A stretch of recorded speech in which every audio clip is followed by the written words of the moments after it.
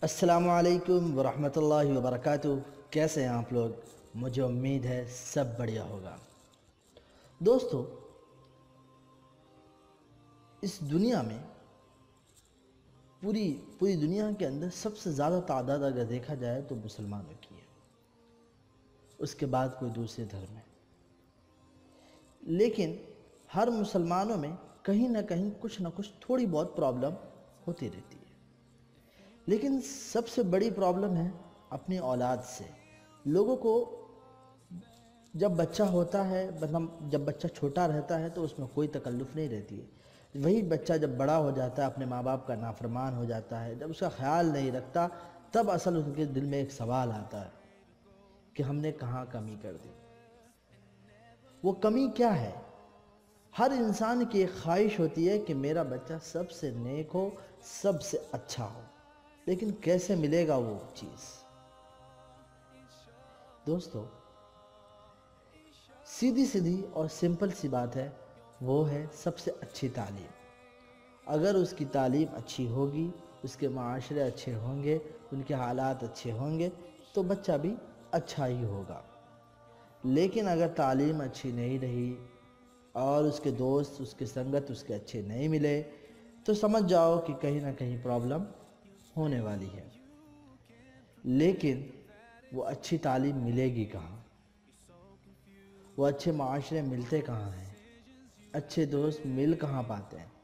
سیدھی سیدھی والی بات ہے کہ بھائی، بچے کو دوست بھی وہیں ملے گا جہاں وہ تعلیم حاصل کر رہا ہوگا۔ معاشرہ بھی وہیں وہیں پہ پلے گا جہاں پہ اس کے اچھے مطلب جہاں وہ پڑھائی کر رہا ہوگا، ادھر ہی اس کے اس کے معاشرات بھی ملیں گے، کیونکہ زیادہ وقت وہ جہاں علم حاصل کرے گا، ادھر ہی اس کے لیے سب کچھ ہے۔ سب سے مین جو ہے اصل، وہ ہے علم حاصل کرنا کہ بھائی، اپنے بچوں کو میں علم کون سا دوں؟ اور ہر ماں باپ، ہر مسلمانوں کے ماں باپ یہی چاہتے ہیں کہ بھائی، میرا بچہ جو ہے نا، سب سے اچھی تعلیم حاصل کرے۔ چاہے وہ دنیا ہو، چاہے وہ آخرت ہو، دونوں میں۔ لیکن میں سمجھتا ہوں کہ اکثریت مسلمانوں کی یہ چاہت ضرور ہوگی کہ بھائی ہمارا بچہ دنیا کے ساتھ ساتھ دین کی تعلیم تو ضرور ہونا چاہیے۔ لیکن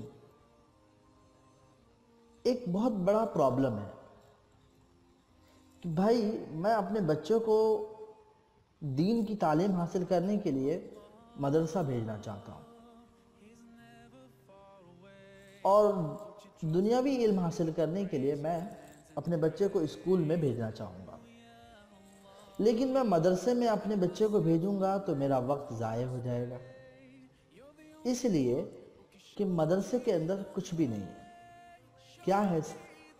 سوائے مطلب سوائے آخرت کے حقیقت میں دیکھا جائے تو سوائے آخرت کے اور کیا ہے وہاں پر؟ کوئی نظام نہیں ہے، کوئی صحیح تعلیم نہیں ہے۔ صرف ایک ہی تعلیم ہے، وہ ہے قرآن اور حدیث کی تعلیم۔ جس سے لوگ کہتے ہیں کہ ہمارا پیٹ نہیں بھر سکتا۔ ہمارا ہمارا جو بچہ ہے آنے والے کل کے دور میں وہ اتنا کما نہیں سکتا۔ اس کی زندگی بنے گی کیسے؟ تو سیدھا ہر چیز کا جو ایک ہی ہے پوائنٹ کہ بھائی ہمارا بچہ نیک تو ضرور ہونا چاہیے، لیکن کمانا بھی تو چاہیے۔ تو کمی کہاں ہے پھر؟ تو ظاہر سے بات ہے کہ کمانے کی ہی پرابلم ہے۔ جس کے لیے انسان کیا کرتا ہے؟ مدرسے سے ہٹ کر اسکول کو ترجیح دیتا ہے۔ اور اسکول میں کیا ہوتا ہے کہ ہر چیز تو مل جاتی ہے، لیکن نہیں مل پاتی ہے تو وہ ہے صحیح تعلیم۔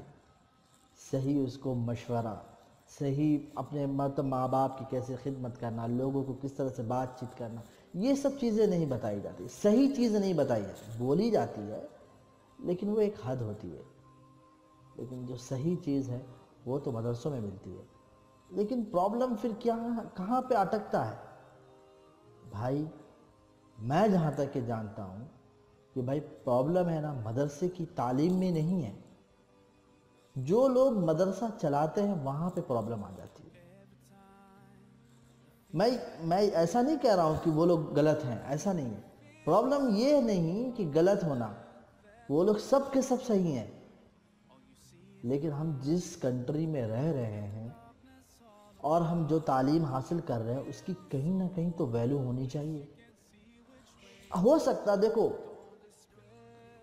ایک بات سمپل سی ہے کہ اگر میں مدرسے میں بچوں کو پڑھایا، میں اپنے بچوں کو صحیح تعلیم دیا، دینے کے بعد میرے بچے کی فیوچر کیا ہے؟ تو فیوچر کے لیے کچھ بھی آپشن ہے؟ نہیں ہے۔ کیوں؟ کیونکہ تعلیم سب کچھ تو دے رہے ہو آپ۔ لیکن ان کے پاس کوئی ایسی چیز نہیں ہے جس کو وہ لوگوں کے سامنے میں بتا سکے کہ میں بھی پڑھا لکھا ہوں۔ جس کو کہہ سکتے ہیں آپ ڈگری، جو گورنمنٹ کبھی اس کو ویلیو نہیں کرتا۔ تو جب کوئی چیز بتانے کے لیے نہیں ہے کہ میں علم والا ہوں، تو پھر میں وہاں پہ کیوں جاؤں؟ میں اپنے بچوں کو کیوں پڑھاؤں؟ سیدھی بات ہے کہ بھائی میں تو جاؤں گا اپنے بچوں کو فیوچر دیکھتے ہوئے، اپنی زندگی کتنی بھی تباہ ہو جائے، میں اپنے بچوں کی زندگی تو فیوچر اچھا بنا کر رہوں گا۔ اس لیے میں اپنے بچوں کو کیا کروں گا؟ اسکول میں ڈال دوں گا۔ کیوں؟ کیونکہ اسکول میں پڑھائی ہوئی یا نہیں ہوئی، اس سے کوئی مطلب نہیں ہے۔ وہاں سے جو ڈگری ملے گی نا، وہ لوگوں کے بیچ کام کرے گی۔ تو ہمارا ماحول جو ہے، یہاں پر خراب ہو جاتا ہے۔ دوستو سارے لوگ مسلمانوں کی کوئی کمی نہیں ہے۔ اور ہر مسلمان صرف ایسا نہیں ہے کہ صرف مدارسی ذمہ دار ہے۔ جو مدرسہ کے جو لوگ ہیں، وہ جو ذمہ دار ہیں، وہ صرف ذمہ دار ایسا نہیں ہے۔ سارے مسلمان اس کے ذمہ دار ہیں۔ سارے مسلمانوں کو یہ چیز کی مانگ کرنی چاہیے تھی کہ لوگوں، جو مدرسے میں بچے پڑھ رہے ہیں، جو تعلیم حاصل کر کے نکل رہے ہیں، ان کی ڈگریاں کہاں ہیں؟ ان کی ڈگری کی ویلیو کیوں نہیں ہے؟ یہ لوگوں میں ایک سوال ڈالنی چاہیے تھی، جو ہمارا کام ہے، ہم مسلمانوں کے کام ہیں۔ اگر ہم ڈگریاں وہاں سے حاصل کرنے کا، وہاں سے پڑھائی کا ایک نظام بنتا کہ یہاں سے اس طرح سے بن سکتا ہے یا آگے بھی، اس کے آگے بھی پڑھ سکتا ہے، اس طرح سے نظام بن جاتا، تو میں سمجھتا ہوں کہ کافی حد تک پرابلم ختم ہو جاتی۔ اور لوگ اکثر مسلمان جو ہے یہی چاہتے کہ میں اپنے بچے کو مدرسے کی تعلیم حاصل کراؤں۔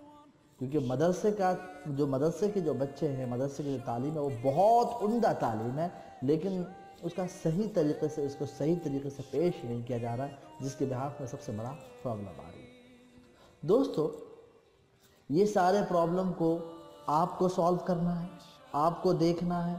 یہ جتنی بھی پرابلمس ہیں، اس کو آپ کو ہی لوگوں میں باتوں کو آگے بڑھانا ہے ڈسکس کرنا ہے، تاکہ اس کام کو آگے میں بڑھانے کو ممکن حد تک کوشش ہو سکے۔ کیونکہ مدرسے میں لاکھوں کی تعداد میں بچے پڑھ رہے ہیں، لیکن جاتے کہاں ہیں، کیا کرتے ہیں، اس کا کوئی عطا پتہ نہیں ہوتا۔ دوستو، بس اتنا ہی۔ آج کے لیے اور کبھی وقت ملا تو اور ڈیٹیل اس کے اوپر بہت الگ الگ، اس میں بہت ساری باتیں ہیں، اس تعلق سے ہم بات کرتے رہیں گے۔ آج کے لیے بس اتنا ہی۔ جزاک اللہ خیر الحسن السلام علیکم ورحمۃ اللہ وبرکاتہ۔